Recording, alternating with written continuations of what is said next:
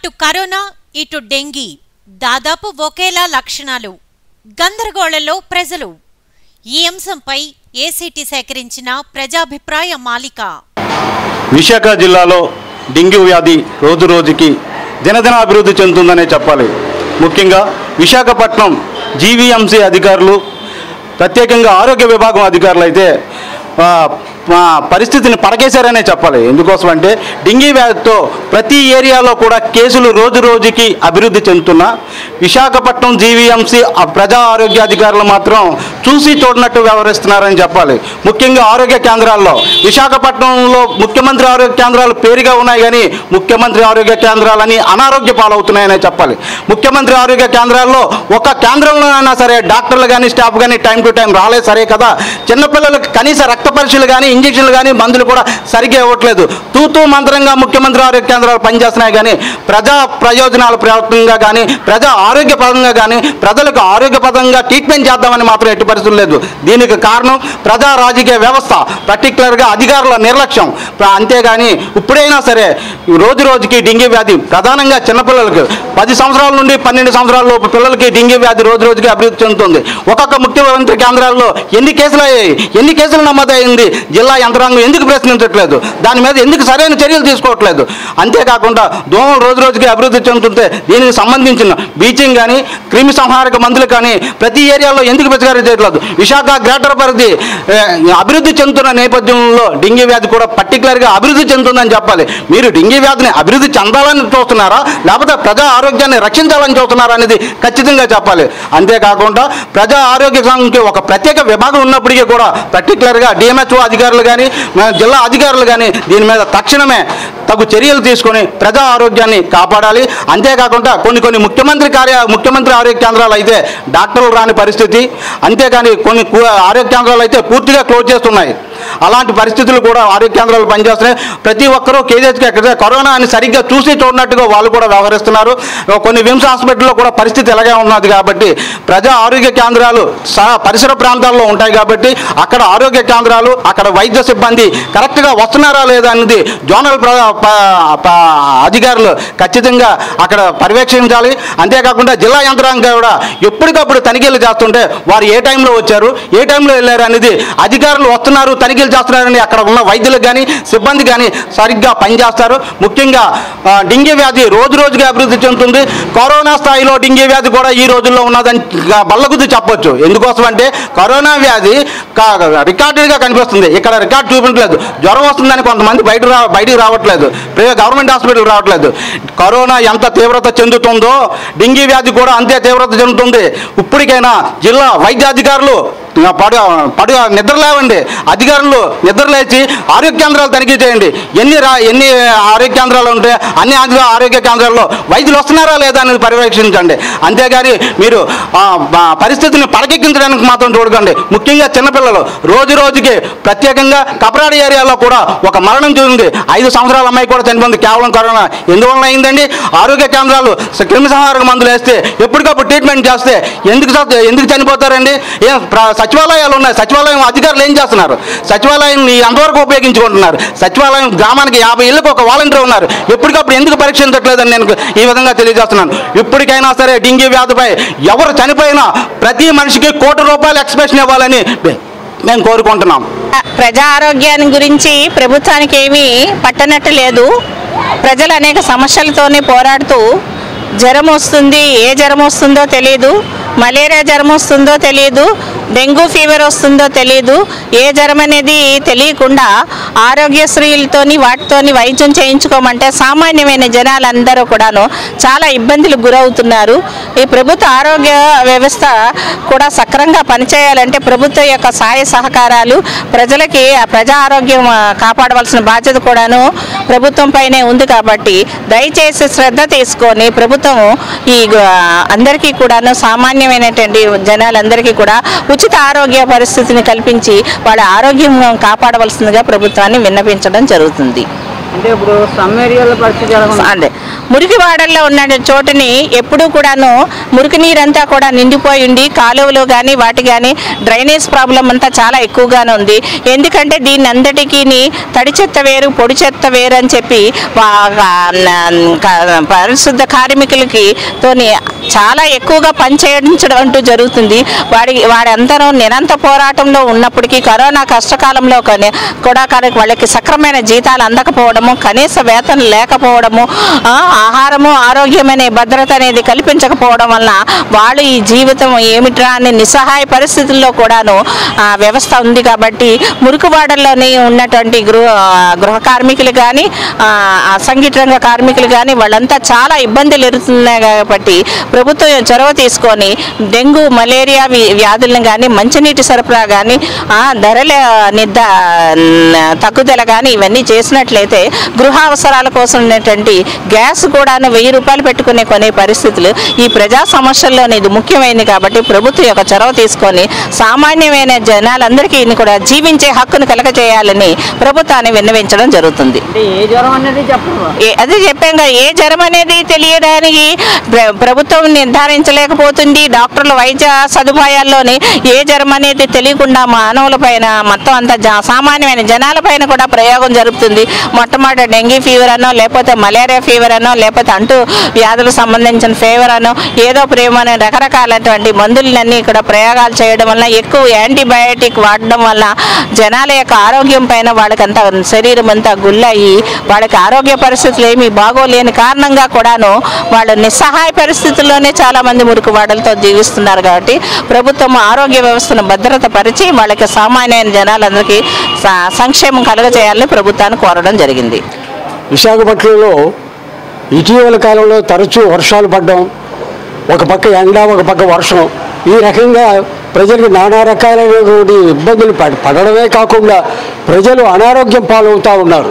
ఇప్పుడు విశాఖపట్నం జీవీఎంసీ పరిధిలో ఉన్న ప్రజా ఆరోగ్య సంస్థ అది ఏం చేస్తుందా అనేది కొంతమంది అనేక మంది దృష్టిలో అసలు ఆరోగ్య ప్రజా ఆరోగ్య సంస్థ పనిచేస్తుందా లేకపోతే నిద్రపోతుందా అనేది ఇప్పుడున్నటువంటి సుమారు తొంభై ఎనిమిది వార్డులు కా కేటాయించారు విశాఖ జీవీఎంసీని ఏ వార్డు అన్ని వార్డులలోనూ ఏ వార్డు చూసినా ఒకే రకమైనటువంటి చెత్తతో నానా రకాల ఇబ్బందులు పడుతూ దోమలు దోమలతో పాటు అనేక రకాలైనటువంటి చీడ పురుగులతో ప్రజలు అనారోగ్యం పాలవుతూ ఉన్నారు. మలేరియా అని డైలీ అని రకరకాల జ్వరాలు రకరకాలైన వైరల్ ఫీవర్స్. అది కరోనావా? లేకపోతే ఇంకో రకమైన కొత్త రకం కరోనావా? అనేది ప్రజల్లో నానా రకాలైనటువంటి ఇబ్బందులు గురి కావాల్సి వస్తుంది. ముఖ్యంగా వృద్ధులు పిల్లలు మహిళలు రోడ్ల మీదకి వెళ్ళవలసిన వాళ్ళు స్కూళ్ళకి వెళ్ళవలసిన వాళ్ళు బజార్లకు వెళ్ళవలసిన వాళ్ళు నానా రకాలైనటువంటి ఇబ్బందులు లోనవుతూ ఉన్నారు.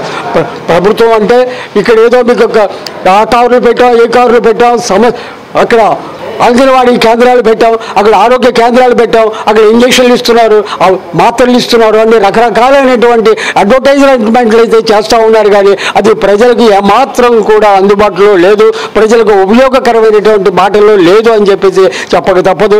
ఎప్పుడైనా సరే ప్రజా ఆరోగ్య సంస్థ వారు వెంటనే స్పందించి రోడ్లు శుభ్రం చేయడం కాలువలు శుభ్రం చేయడం గడ్డలు శుభ్రం చేయించడం అన్ని ప్రతిదీ కూడా వాళ్ళు టేకప్ చేసి నిర్విరామంగా కృషి చేస్తూ ఉంటే కానీ ఈ యొక్క అనారోగ్య సమస్య విశాఖపట్నంలో తీరడం చాలా కష్టం. ఇప్పుడు విశాఖపట్నం పూర్వం విశాఖపట్నం కాదు ఇప్పుడు రాజధాని నగరమైనటువంటి విశాఖపట్నం. అనేక రకాలైనటువంటి ప్రజలు వస్తుంటారు వెళ్తుంటారు. ఇప్పుడు ప్రస్తుతం ఇరవై తొంభై ఎనిమిది వార్డులు పరీక్ష చేశామంటే సుమారు ఇరవై లక్షల మంది ప్రజానీక విశాఖపట్నంలో కాపురాలు చేస్తూ ఉన్నారు. పై దేశాల నుంచి వచ్చేవాళ్ళు పొరుగు రాష్ట్రాల నుంచి వచ్చేవాళ్ళు పొరుగు జిల్లాల నుంచి వచ్చేవాళ్ళు వీళ్ళందరూ కూడా వచ్చి రావడంతో విశాఖపట్నం వీధులన్నీ చూసి అవాక్ అవుతా ఉన్నారు. ఇక ముందు ఇటువంటి ప్ర- సమస్యలు తల ఎత్తకుండా విశాఖ నగరాన్ని ఒక సస్యశ్యామలమైనటువంటి ఒక నగరంగా ఒక ప్రత్యా ప్రత్యేక ప్రత్యేకమైనటువంటి ఒక నగరంగా చూస్తూ దాన్ని అభివృద్ధి చేయవలసినటువంటి కార్యక్రమాలు చాలా ఉన్నాయి. ఇంకా చెప్పాలి అంటే ఏవో రోడ్ల మధ్య చెట్లు వేస్తున్నాం అంటారు చెట్లు ఉన్న చెట్లు తీసేస్తామంటున్నారు. ఈ రకంగా గత ప్రభుత్వం ఏం చేసింది? ఏడాకుల చెట్ల గురించి ప్రజలందరికీ తెలుసు. ఏడాకుల పాల చెట్లు అనేది చాలా తక్కువ రేటుతో సులువుగా తొందరగా ఎదిగే రకమైనటువంటి చెట్లు ఆ రకమైన చెట్లు కొన్ని లక్షల చెట్లు గత ప్రభుత్వం నాటించింది. ఏదో డబ్బుకు కక్కుర్తిపడో కమిషన్కు కక్కుర్తిపడో అదేవో నాటించారు. కానీ ఆ చెట్టు అభివృద్ధి చెందగానే పువ్వులు పూయగానే సంవత్సరం సమస్తం ఆ ఏరియా అంతా కూడా దుర్గంధపు ఇష్టం. అనేక రకాలైనటువంటి వ్యాధులు అనేక రకాలైనటువంటి జబ్బులతో ఆ చెట్ల మూలంగా ఎంతోమంది చనిపోవడం కూడా జరిగింది. ఆసుపత్రులు కూడా పాలవుతున్నారు ఇప్పటికీ ఆ ఏడాకుల చెట్లు అనేవి విశాఖపట్నంలో కొన్ని లక్షల చెట్లు ఉన్నాయి. ముందు ఆ చెట్లన్నీ తొలగించండి. దాని దాని స్థానంలో సుగంధాలు వెదజల్లేటటువంటి సాధారణమైనటువంటి చెట్లు వేయండి.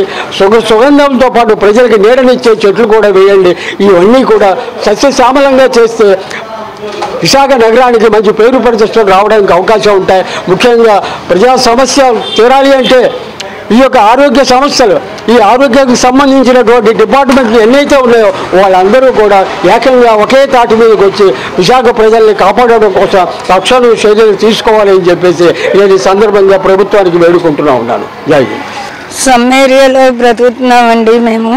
ఈ దోమల్లోని ఈ గడ్డలోని దోమలు చెత్త అంతట్లో బతుకుతున్నాము చాలా భయంకరంగా ఉంది వాతావరణం. ఈ వర్షాలు పడడం వల్ల దోమలు అయ్యి ఎక్కువైపోయి పిల్లలకి జ్వరాలు అయ్యి వచ్చేసి చాలా బాధలు పడుతున్నామండి. మరి మాకేమైనా పరిష్కారం చూపిస్తారని ఆశిస్తున్నాము. మాకు ఈ గడ్డ కొంచెం క్లీన్ చేయాలి. పందులు అవి బాగా ఎక్కువగా ఉన్నాయి.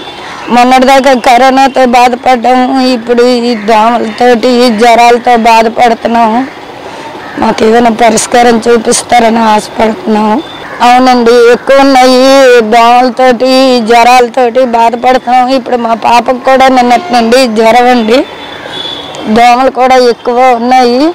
అందరూ పె- బాగా పెద్ద పెద్ద వాళ్ళు కూడా ఉన్నారు ముసలి వాళ్ళు. ఆ చివరింట్లో ఒక అతనికి ఇప్పుడు ఐదు రోజుల నుండి జ్వరం. ఆ జ్వరంతో అతను అలా మంచాన్నే ఉన్నారు. దోమలు కూడా విపరీతంగా ఉన్నాయి పగలు రాత్రి అని లేకుండా. ముఖ్యంగా ఈ మలేరియా వ్యాధి కలుగజేసేటువంటి ఆడ ఎనాఫ్లిస్ దోమ మంచినీళ్ళలో గుడ్లు పెడతా ఉంటుంది. అది మన ఫ్రిడ్జ్ వెనకాలటువంటి ట్రేల్లో కానీ అలాగే మనకి కూలర్స్లో కానీ అలాగే కొబ్బరి వాడి పాడేసిన కొబ్బరి బొండాలు టైర్లు ఇలాంటి అన్నిటిలోనూ కూడా అవి వాటి యొక్క సంతతిని ఉత్పత్తి చేసుకుంటూ ఉంటాయి. అందువల్ల మనం ఏం చేయాలంటే వారానికి ఒక రోజు డ్రై డేగా పాటించి ఆ రోజు కంపల్సరీగా మన ఇళ్ళలో ఉన్నటువంటి నీటి నిల్వలను ఖాళీ చేసి వాటిని ఆరబెట్టి మళ్ళీ నీ నిల్వలు చేసుకున్నట్టయితే దోమ యొక్క జీవిత చక్రాన్ని మనం బ్రేక్ చేసినట్టు అవుతుంది. ముఖ్యంగా ఇరవై ఒక్క రోజులకు మళ్ళీ దోమ తయారైపోద్ది కాబట్టి ఈ లోపల వారం రోజులకే మనం నీళ్ళు పారబోసేస్తే ఏ ప్రాబ్లం ఉండదు. తర్వాత మనం సాయంత్రం ఐదు నుంచి ఏడు గంటల మధ్యలో ఇళ్ళకి కిటికీలు కూడా మూసుకోవడం దోమకాటు నుంచి మనం దోమ తెరలు వాడడం మస్కిటో రెప్పలెంట్లు వాడడం ఇటువంటి అన్ని కార్యక్రమాలు మనం చేయడం ప్రజల్లో దీని పట్ల అవగాహన కలిగించడం వల్ల దీని మీద ప్రజలు అత్యంత జాగరూకతో ఉండే అవకాశం ఉంది. విశాఖపట్నం నగర స్థానికుడిని ఈ వర్షాకాల సమయంలో వర్షాలు ఒకవైపు కురుస్తుండడం మరోవైపు ఉన్నటువంటి డ్రైనేజీలు మురిగిపోవడం అలాగే ప్రభుత్వం థర్డ్ వే అనేది ఒకటి వచ్చింది కరోనా వైరస్. వాటితో విశాఖపట్నంలో చాలామంది ప్రజలకు మలేరియా డెంగ్యూ జ్వరాలు రావడంతోనే వాళ్ళు బయటికి వెళ్ళి టెస్టులు చేయించుకుందామంటే కరోనా భయంతో ఇళ్ళకే పరిమితం అవ్వాల్సిన పరిస్థితి అనేది కనబడుతుంది.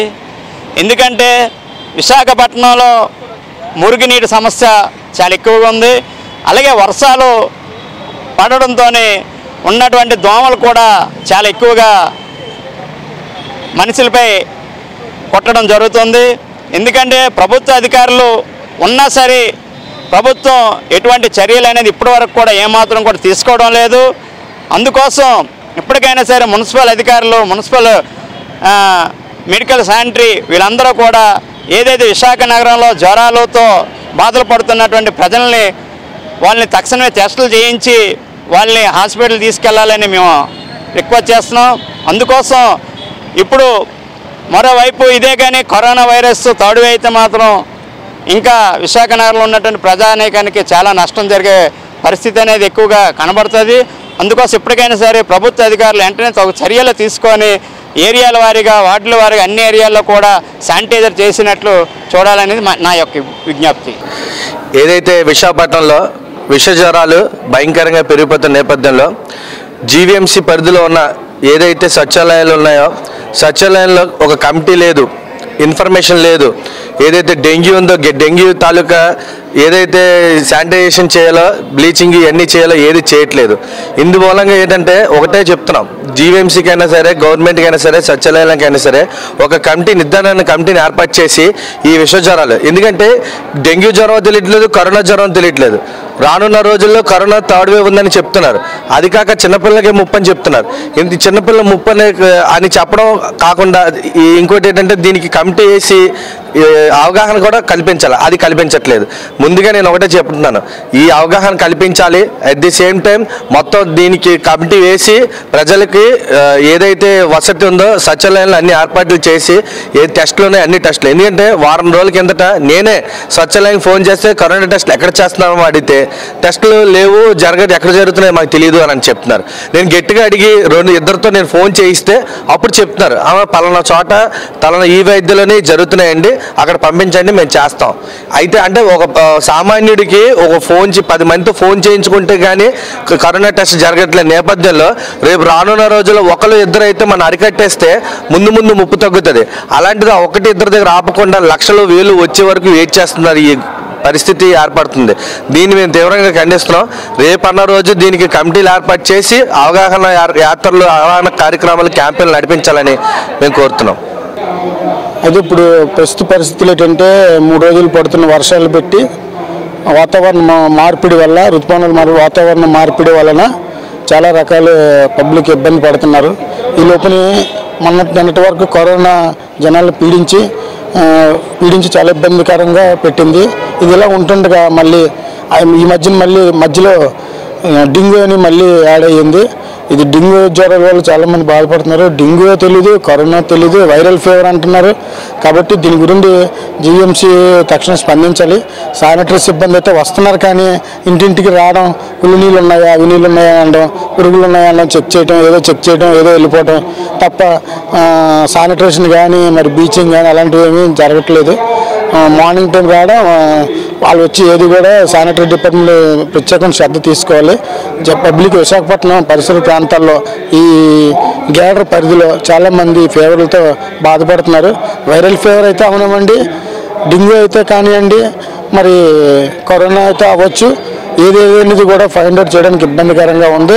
దీని మీద తక్షణమే ఇందులో ప్రథమ బాధ్యులు జీవీఎంసీ కాబట్టి జీవీఎంసీ తక్షణమే స్పందించి సుజనా మేడం గారికి నేను నా తరపు నుండి ఇది ఒక విన్నపంగా చెప్తున్నాను. మేడం గారు మార్నింగ్ టైం అయితే శానిటైజర్ సిబ్బంది వస్తున్నారు. దాని గురించి మలేరియా వాళ్ళు కూడా వస్తున్నారు. అక్కడ నీళ్ళున్నాయి ఇక్కడ నీళ్ళున్నాయి అందులో పురుగులు ఉంటాయి ఇందులో పురుగులు ఉంటాయి అని చెప్పడం ఏదో చెప్పడం ఏదో తూతుగా వస్తున్నారు తప్ప హార్ట్ఫుల్గా ఏమీ చేయట్లేదు. ప్రత్యేకమైన శ్రద్ధ తీసుకోవాల్సిన ఈ నెలలో ఈ వారంలో ఈ వాతావరణ మార్పిడి వల్ల ఈ యొక్క ప్రాబ్లం వల్ల జిఎంసి తక్షణమే ప్రత్యేకమైన చర్యలు తీసుకొని బీచింగ్ కానీ శానిటేషన్ కానీ విస్తృతంగా వాడ విస్తృతంగా కొంచెం వార్డులో అన్ని వార్డుల్లో కొంచెం చేయాలని చెప్పేసి నా యొక్క మనవి ఈ అవకాశం ఇచ్చినందుకు యాక్టివ్ గారికి ధన్యవాదాలు తెలుసు మన చుట్టుపక్కల ఏరియాలో ఫీవర్స్ జ్వరాలతో చాలామంది ఇబ్బంది పడుతున్నారు. అది ఎలా ఇబ్బంది పడుతున్నారు అంతే కొన్ని మందికి ఫీవర్ వైరల్ ఫీవర్ అనుకుంటున్నారు కొన్ని మంది మలేరియా అనుకుంటున్నారు కొన్ని మంది డెంగ్యూ అనుకుంటున్నారు కొన్ని మంది సైన్ ఫ్లూ అనుకుంటున్నారు. అసలు ఏ ఫీవర్స్ అనేది కరెక్ట్గా తెలియటే దానికి తగ్గ వార్డుల్లో కానీ ఇదుల్లో కానీ టెస్టులు కూడా చేయట్లేదు.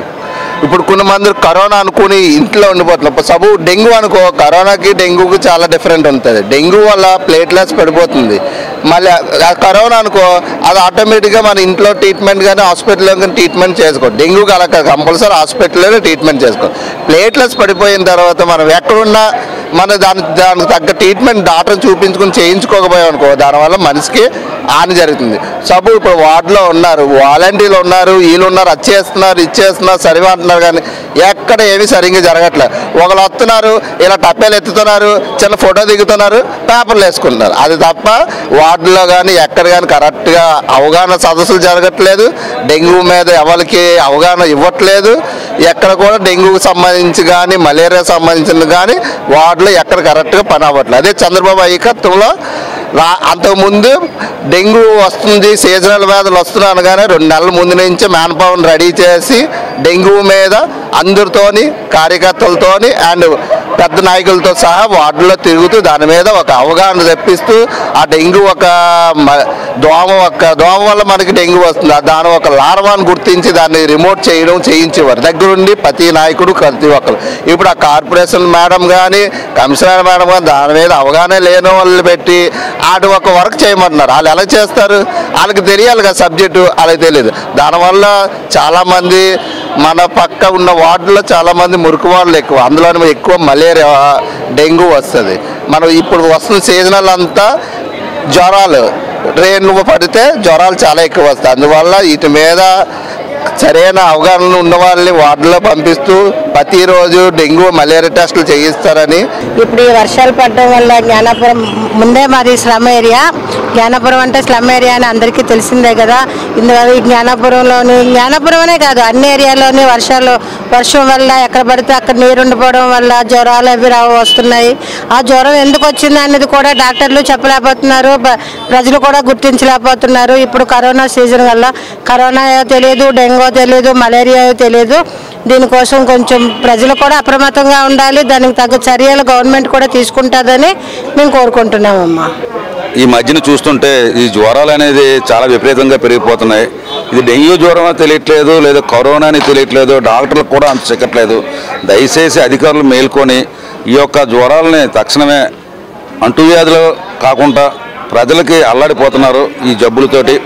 డాక్టర్ దగ్గరికి వెళ్తే సరైన సమాధానం కూడా దొరకట్లేదు. కరోనా విజృంభించిన సమయంలో ఈ యొక్క వర్షాలు రావడంతో ఈ కరోనా డెంగ్యూ జబ్బు తెలియట్లేదు. నెక్స్ట్ యాక్షన్ కరోనా అనే అర్థం దయచేసి ప్రభుత్వం స్పందించి వెంటనే దోమల దోమల నియంత్రణకి కరోనా ఈ డెంగ్యూకి చికిత్స అందించవలసిందిగా కోరుచున్నామండి మరి ఈరోజు పారిశుధ్య దీనివల్ల ఎక్కడికక్కడ చెత్తలు ఉండడం కాలువలు కనీసం నిండి వాటర్ వర్షం వస్తే వా- నిండిపోవడం అంటే జరగడం వల్ల డెంగ్యూలు కలరా ఇతర ఇతర వైరస్లు మనకి అంటుకొని ప్రజలు ప్రాణాల ప్రాణ స్థితిలో పడే అవకాశాలు ఉన్నాయి. కాబట్టి పారిశుద్ధ్య కార్మికుల్ని మీరు టూ అవర్స్ టూ అవర్స్ ఎలాగైతే డ్యూటీ చేయమని విధిస్తారో దయచేసి ఇప్పుడున్న వార్డుల్లో ప్రధానంగా మా డెబ్బై మూడవ వార్డులో అయితే ఎక్కడికక్కడ కాలువలు నిండిపోయి ఉంటాయి చెత్తలతో ఉంటుంది.